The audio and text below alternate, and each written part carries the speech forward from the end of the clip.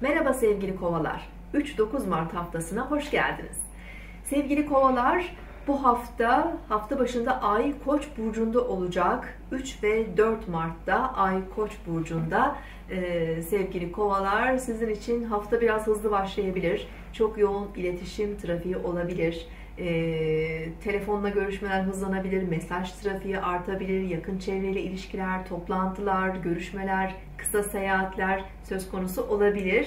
E, bu iş yaşamınızda da daha fazla toplantı olabileceğini, görüşme olabileceğini gösteriyor. Bunun yanı sıra e, günlük hayatınızda yakın çevrenizle, komşularınızla, kardeşlerinizle e, de artabileceğini e, gösteriyor 3 ve 4 Mart'ta.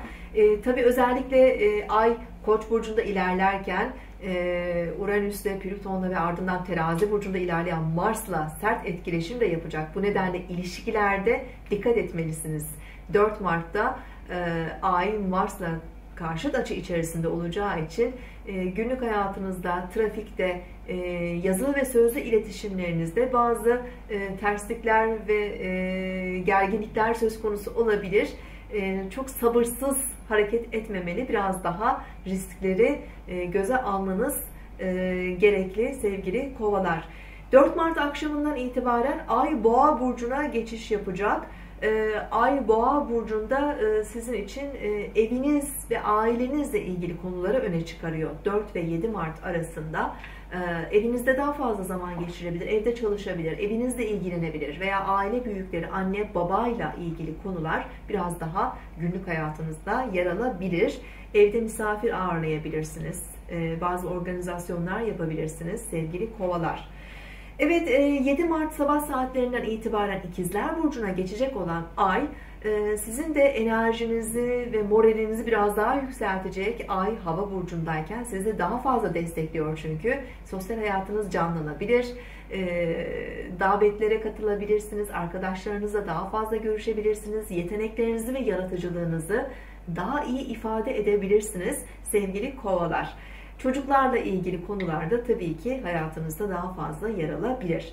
Evet e, sevgili kovalar bu hafta gökyüzündeki gezegen hareketlerine baktığımızda sizin için önemli hareketler var. Birincisi 5 Mart'ta e, Venüs'ün burç değiştirerek sizin burcunuza geçmesi olacak. Venüs bir süredir Oğlak burcundaydı. E, artık oradan ayrılıyor ve 5 Mart'ta Kova burcuna geçiş yapıyor. 6 Nisan'a kadar Venüs Kova burcunda olacak.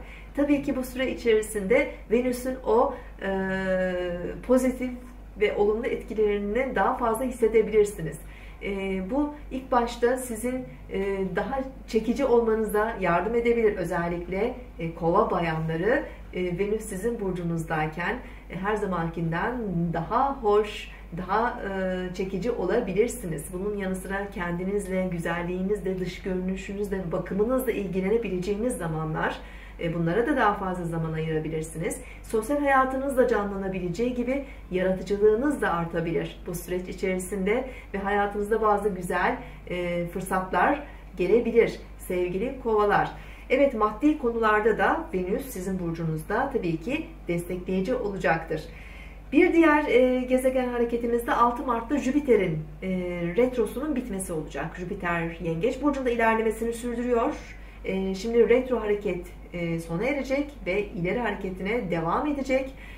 17 e, Temmuz'a kadar Jüpiter Yengeç Burcu'nda hızla ilerleyecek e, sevgili kovalar. Bu süreç içerisinde günlük hayatınızda, iş ve çalışma koşullarınızda sizin için destekleyici ve yardımcı olacaktır. Çalışma koşullarınız iyileşebilir. Bazı iş imkanları ve fırsatlarıyla karşılaşabilirsiniz. Eğer iş arkadaşlarınız, yardımcılarınızla ilgili bazı konular varsa, e, sorunlar varsa bunlar düzelebilir. Size yardım edecek kişiler karşınıza çıkabilir. E, sağlığınızla ilgili bazı problemler varsa onlarda da tedavi olmakla ilgili önemli gelişmeler yaşayabilirsiniz. Jüpiter e, Yengeç Burcu'nda çok kuvvetli olduğu için e, mutlaka sizin için de e, önemli destekler verecektir. Özellikle e, bu alanlarda. Evet sevgili kovalar haftanın genel etkileri böyle. Daha detaylı, detaylı bilgiler için lütfen günlük burç videolarımızı da öz burcunuzla birlikte yükselen burcunuza göre de izlemeyi unutmayın. Haftaya tekrar görüşmek üzere. Hoşçakalın.